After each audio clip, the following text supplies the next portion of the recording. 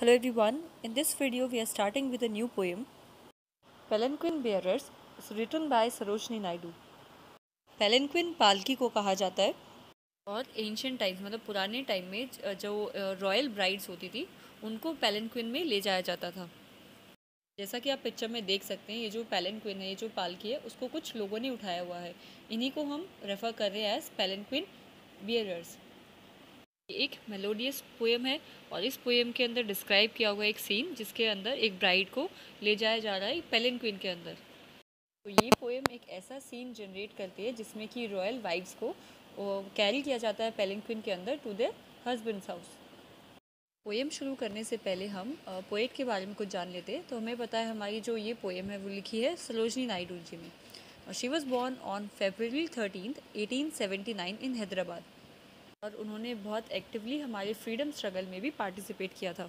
She was a freedom fighter और we can say a political activist और वो first lady थी first Indian lady थी जो कि इंडियन नेशनल कांग्रेस की प्रेसिडेंट बनी थी। Then in 1947 she also became the governor of the United province that is Uttar Pradesh तो वो सिर्फ़ एक पोएट या फिर एक राइटर नहीं थी, उनका हमारे जो इंडियन फ्रीडम स्ट्रगल है उसमें भी बहुत बड़ा योगदान है। उन्हें हम द नाइटिंगेल ऑफ़ इंडिया के नाम से भी जानते हैं also in 1914 she was elected as fellow of the Royal Society of Literature ये भी एक अपने आप में बहुत बड़ी उपलब्धि है now after this brief introduction let us begin with the Lightly, oh lightly, we bear her along. She sways like a flower in the wind of our song. She skims like a bird on the foam of a stream.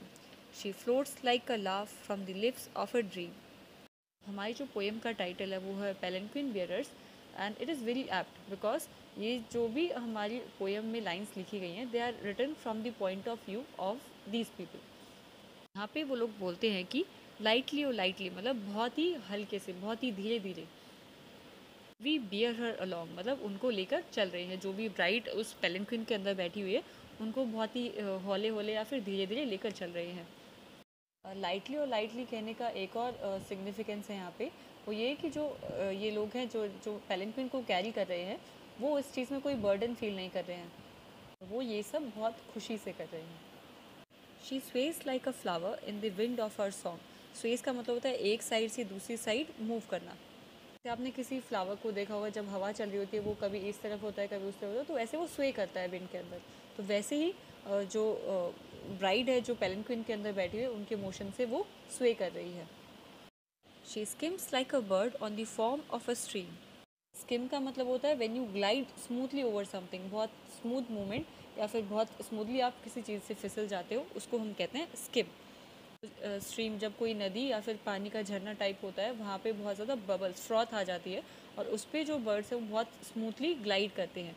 तो वैसे ही जो bride है पेलिंग queen के अंदर birds के जैसे glide कर रही हैं।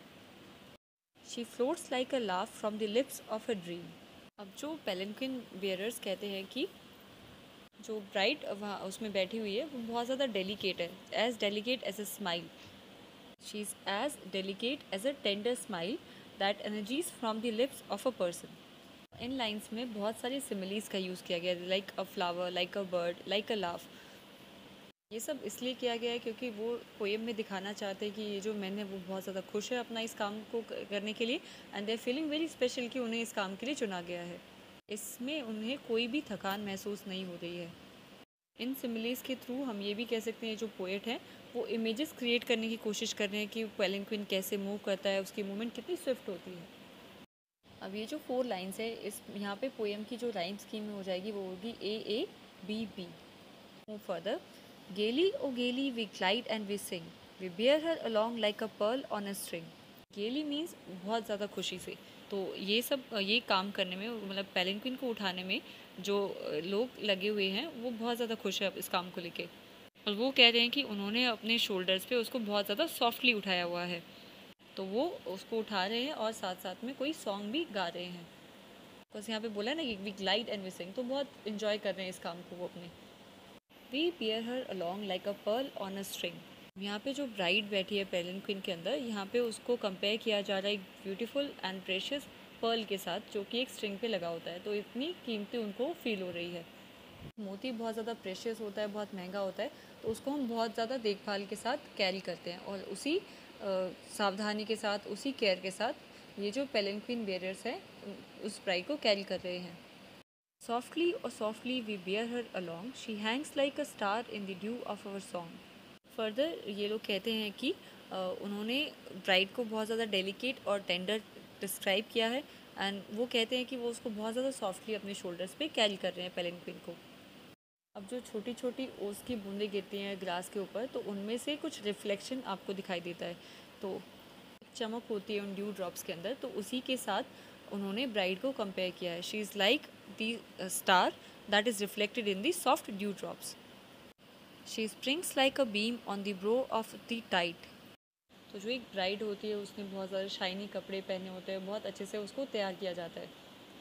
समुद्र में लहरें काफ़ी ऊँचे ऊँचे उठती हैं तो उसकी जो आउटर जो लेयर होती है, वहाँ पे सनलाइट काफ़ी रिफ्लेक्ट होती है और वो वाला पार्ट काफ़ी शाइन करता है। यहाँ पे ब्राइड को उसी शाइनिंग बीम ऑफ़ लाइट के साथ कंपेयर किया गया है, जो कि रिफ्लेक्ट होती है वाटर की जो वेव्स होती है उसकी सरफेस से। She falls like a tear from the eyes of a bride और एज़ वी कैन सी जो ब्राइड है, वो अपने पेरेंट्स के घर को छोड़ के अपने हस्बैंड के घर पे जा रही होती है। So that pain of separation can be seen in her eyes तो वो क्या है, थोड़ा आँसू बहा रही होती है, वो रो रही होती है। So she is as tender and delicate as the gentle drop of a tear जो कि ब्राइड्स की आँखों से गिर रहे होते हैं। Lightly O lightly we glide and we sing we bear her along like a pearl on a string जो पेलेंक्विन बेयरर्स हैं, वो बहुत खुशी से गा रहे हैं और उस पेलेंक्विन को बहुत स्मूथली कैरी कर रहे हैं, जिसमें कि वो ब्राइड बैठी हुई है। वो ऐसा क्यों कर रहे हैं? बिकॉज़ वो चाहते हैं कि ये जो जर्नी है, वो ब्राइड के लिए काफ़ी स्मूथ रहे और वो उसको स्ट्रेनियस ना लगे, उसके लिए थकान भरी ना हो। तो वो उसको ऐसे कैरी कर रहे हैं जैसे कि वो कोई प्रीशियस पर्ल हो, जिसकी कि उन्हें रखवाली करनी है या फिर जिसकी उन्होंने बहुत ज़्यादा देखभाल करनी है। So this is an end to this poem if you have any doubt you can post in comments thank you for watching and have a nice day.